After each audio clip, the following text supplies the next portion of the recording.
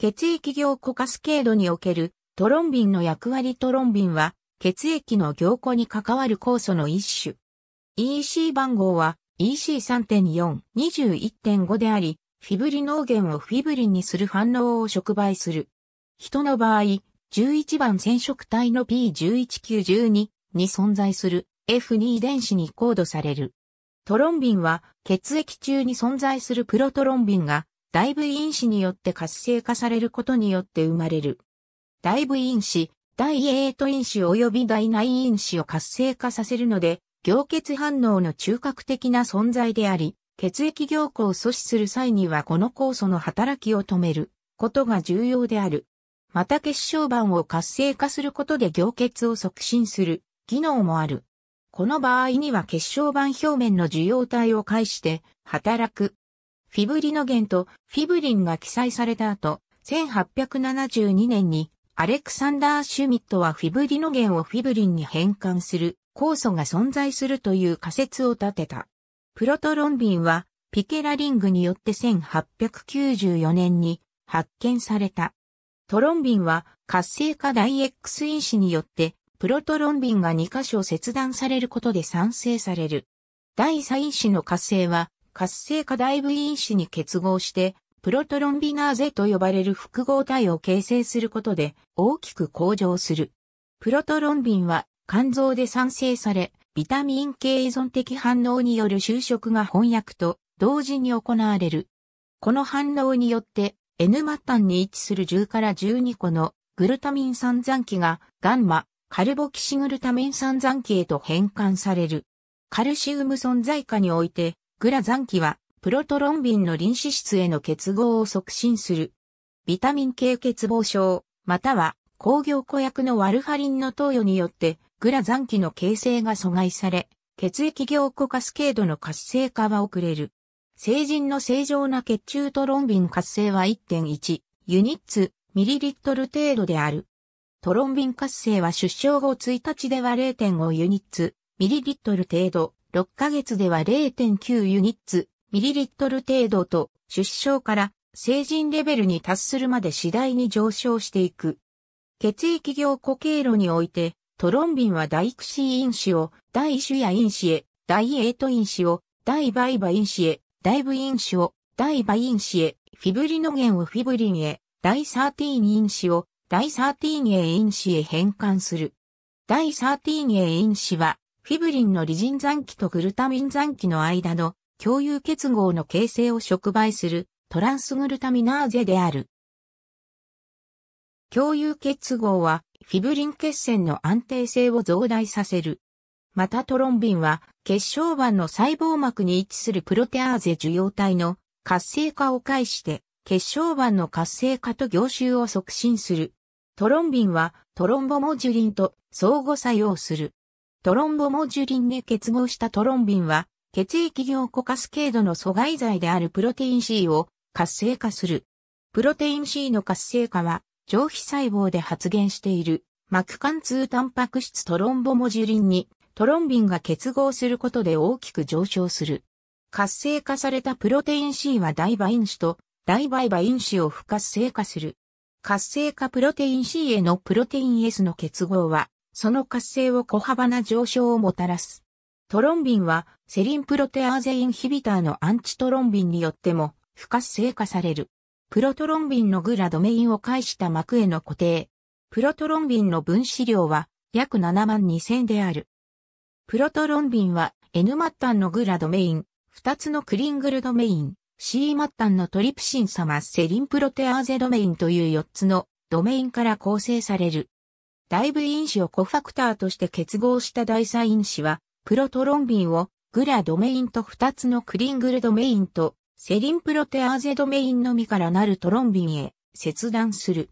トロンビンの分子量は約3万6千で構造的にはプロテアーゼの PA クランに属する。すべてのセリンプロテアーゼと同様、プロトロンビンはタンパク質内部のペプチド結合の分解によって活性型のトロンビンへと変換され、新たな N 末端としてイソロイシンのアミノ基が露出する。セリンプロテアーゼの活性化の歴史的なモデルでは、この新たに形成された N 末端がベータバレル構造の中へ挿入され、触媒残基の正しいコンフォメーションの形成が促進されると考えられてきた。活性型トロンビンの結晶構造が示すのとは異なり、水素重水素交換質量分析の研究からは、アポ型のトロンビンでは、N 末端はベータバレルに挿入されていないことが示された。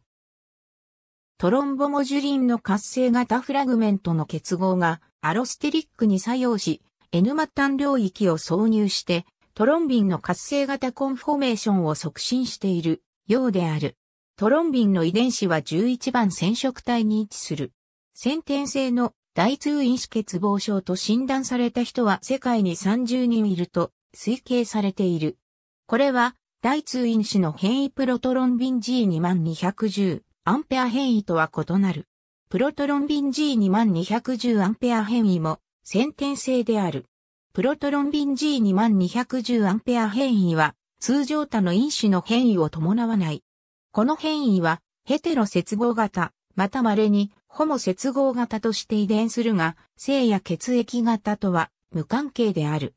ホモ接合型変異はヘテロ接合型変異よりも血栓症のリスクを増大させるが、相対的なリスクの増大の程度についてはあまり解明されていない。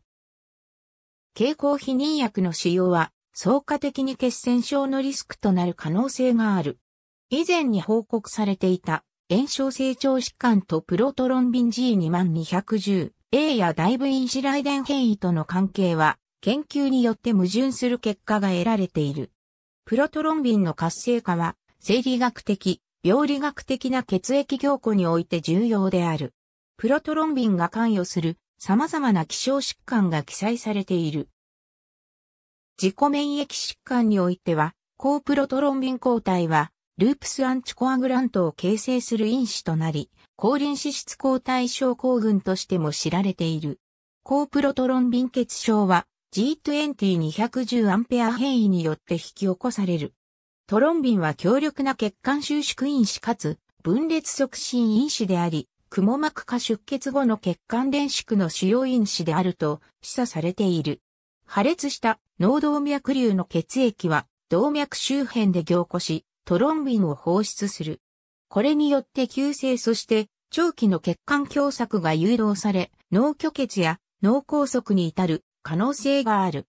血栓形成の動的な過程における重要な役割に加えて、トロンビンには顕著な炎症促進性があり、アテローム性動脈硬化の発症と進行に影響を与える可能性がある。すべての血管壁構成要素で豊富に発現している特定の細胞膜受容体を介した作用によって、トロンビンは炎症、アテローム斑への白血球のリクルート、酸化ストレスの強化、血管ヒラナメスジ細胞の移動と増殖、アポトーシス、血管新生など、アテローム生成促進的作用を示す可能性がある。トロンビンの存在は、血栓の存在の指標となる。2013年にマウスでトロンビンの存在を検知するシステムが開発された。それはペプチドでコートされた酸化鉄にレポーター物質を結合させたものを利用したもので、ペプチドがトロンビン分子に結合すると、レポーターが放出されて尿中に排泄され、検出される。人での試験はまだ行われていない。トロンビンは、タンパク質切断の特異性が高いため、生化学において有用なツールとなっている。トロンビン切断部位は、組み換え融合タンパク質の発現コンストラクトに一般的に利用されている。融合タンパク質の生成の後、トロンビンによってアルギニンとグリシンの間を選択的に切断することで、対象のタンパク質から高い特異性で効率的に生成タグを除去することができる。プロトロンビン複合体濃縮製剤と新鮮凍結結晶はプロトロンビンの欠乏を補うために用いられるプロトロンビンを豊富に含む凝固因子製剤である。適応症にはワルファリンによる難治性出血も含まれる。大部分の工業固薬の作用の中心は、プロトロンビンの調節である。ワルファリンや関連薬剤は、プロトロンビンを含むいくつかの凝固因子のビタミン系依存的なカルボキシル化を阻害する。ヘパリンはトロンビンに対するアンチトロンビンの親和性を増強する。新たな薬剤のクラスである直接トロンビン阻害剤は、トロンビンの活性部位に結合することで、直接トロンビンを阻害する。組み換えトロンビンは、粉末状態、または水溶液中で再構成して利用される。甲状腺維持の補助のため手術中に外用薬として用いられる。毛細血管や細静脈からの微量出血の制御には有用であるが、大量出血や激しい動脈出血には効果がなく適用されない。トロンビンはフィブリノゲンとの組み合わせで肉の決着剤としてフィブラメクスの商標名で売られている。どちらのタンパク質も豚、または牛の血液に由来するものである。製造者によると、フィブラメクスは新たな種類の混合肉の生産に利用することができる。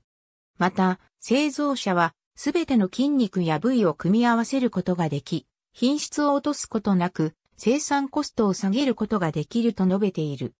スウェーデン消費者協会の事務局長、ヤンバートフトは、最高精肉と本物の肉を区別する方法がないため、消費者の誤解を招く危険があると述べている。ありがとうございます。